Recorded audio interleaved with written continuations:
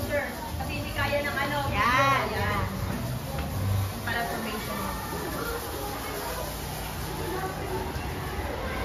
So guys, kaya niya.